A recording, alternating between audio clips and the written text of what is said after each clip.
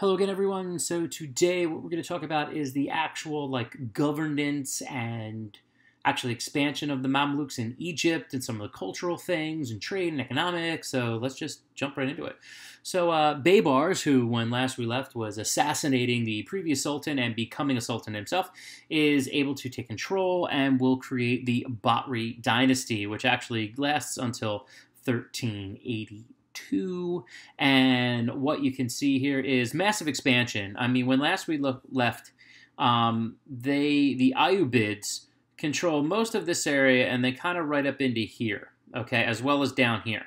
Well, the Baybars isn't going to control that, but he's going to drive deep into modern day Iraq, well up into Syria, coming really close to Anatolia. He's going to get rid of all the Crusader states, gone, goodbye. Uh, drive deep down into Nubia or modern day Sudan, so that's going to be pretty good as well. And he'll also get rid of those rascally assassins, so we don't have to deal with them anymore. He also is going to establish diplomatic relationships with other empires. And this is how you know you've kind of made it. When other empires are willing to have diplomatic relations and trade and stuff like that, that you're seen as an equal. And that's why it's really, really important. And he will establish relations with like uh, European kingdoms, like the Normans on the island of Sicily, as well as the Mongols over in Persia. So again, we see this expansion in trade and economics. He's going to do a lot to uh, improve the infrastructure, lots of roads, canals, stuff like that. Um, he is going to also work on expanding and training of the military, um, really, really expanding the cavalry as well as their archers. And that's something they're going to be really known for at the height of their power. Um, and then he will die a natural death, not assassinated, in 1227. And one of the things he's known for is building this gigantic mosque here as well. All right, so what is the focus of the Mamluk sultans? Well, first and foremost, all about merchants and trade. Of course, Muhammad was a trader, so we're going to see that theme a lot.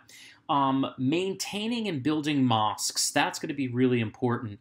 Um, as you see there, these are the second and third holiest sites in Islam. The top right is the Prophet of, or sorry, the Mosque of the Prophet.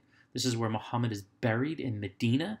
And on the bottom there is the Al Aqsa Mosque in Jerusalem.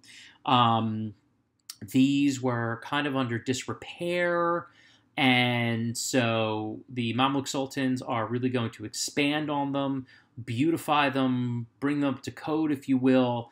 And, you know, really, really important. Of course, these are some of the central sites for Muslims to visit today behind Mecca.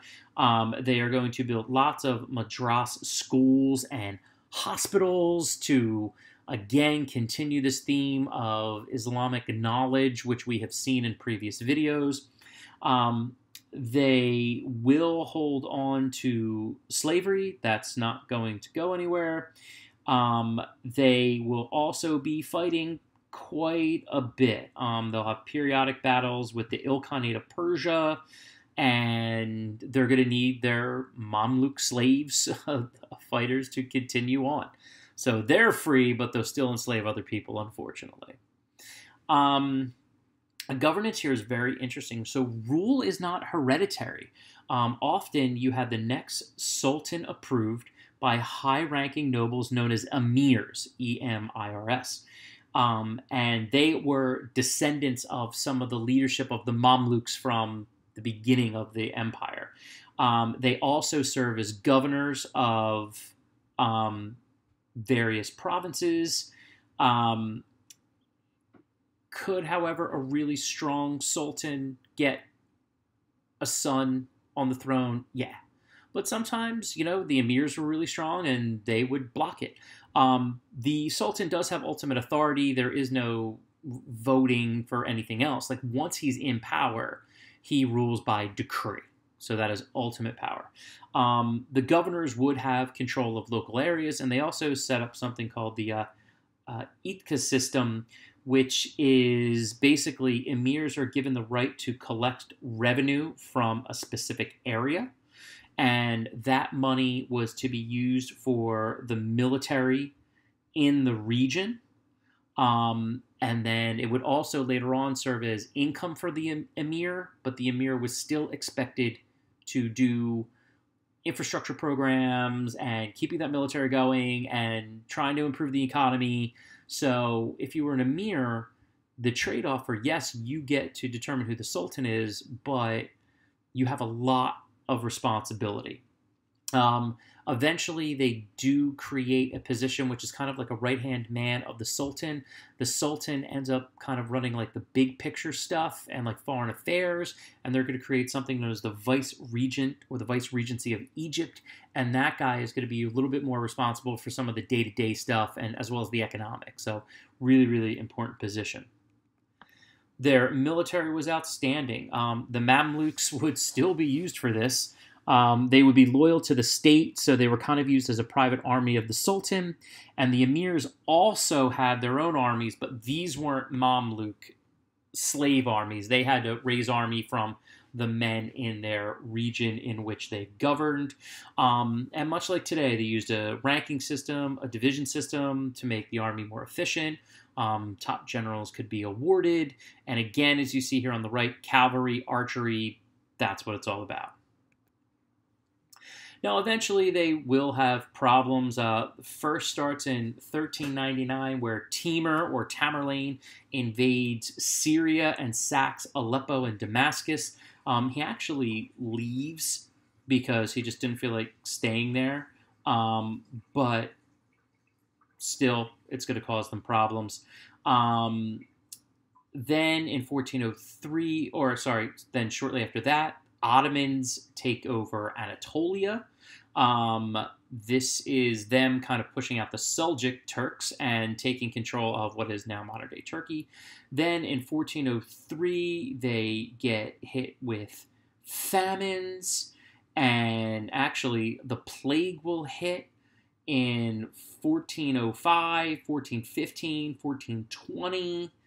Um, Bedouins, the Bedouins periodically revolt as well. Those are um, nomadic tribesmen that live in the desert.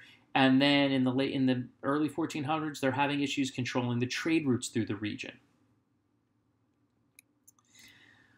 Starting in 1500, they start fighting with the Safavids out of Persia, and that's going to hit them. And then finally, it's going to be pretty simple. Uh, from 1516 to 1517, the Mamluks will be conquered by the Ottoman Empire under Selim I, and then that's it. They're gone. Now, cultural things. Um, Arabic was the language for administration and education, but the bulk of the people actually taught Turkic. However, Arabic was important to know because it was the language of the um, of the scholars and stuff like that. So if you were going to be part of that group, you had to know Arabic. Um, they are mainly Sunni Islam, which is really really important. Um, they did allow Sufism but Sunni Islam was crucial for that unity, which came into play again against the Crusaders. It comes into play against the Mongols, and it was really a way to unify that population. It was really, really important. Um, there were large groups of Coptic Christians and Jews in the empire as well. Jews fared a little bit better. They were able to openly worship and build build synagogues, um, the Christians had it harder. It was actually two reasons why Christians had it harder. One, many um, Mongols who they came into contact were were um, Nestorian Christians, so they didn't like that. Um, also, Armenian and Georgian Christians had worked with the Mongols during their invasions, uh, as well as periodic raids, so they don't like that. And the Christians would be persecuted from time to time, sometimes banned from jobs, sometimes not allowed to build places of worship. Um, and the probably the largest group of Christians were in Syria at this time, and because of the discrimination by the Mamluks, many would actually uh, choose to leave Syria because of that. The economy here was agricultural based. If we go all the way back to you know Roman times in Egypt, like there's a lot of stuff that you can grow around the Nile. Um, cotton and sugar are they're big ones. Cotton actually really popular, not popular, but really uh, a big moneymaker in Egypt today. Um, although due to lack of water in the region and the need to like constantly make sure that the irrigation is going, uh, the government pretty much centrally controlled everything. Okay. Uh, so there really wasn't like private farmers and stuff like that. They really didn't do a lot of manufacturing at all. Most of everything was based off of trade. Um, Baybars has trade agreements with Genoa and uh, or Genoa, and they would also go as far out as uh, Ceylon or Sri Lanka.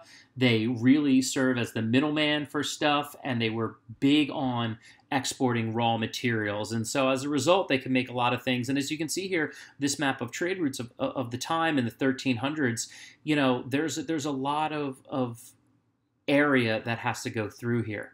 And so a really interesting empire that rises up at this time, you know, lasts for a, a decent amount of time, you know, from you can call it 1250 to 1500, so that's a solid run. Um, and another one of these medieval uh, Islamic empires that was actually able to achieve quite a bit. All right, guys, I hope you enjoyed this one, and I'll see you soon.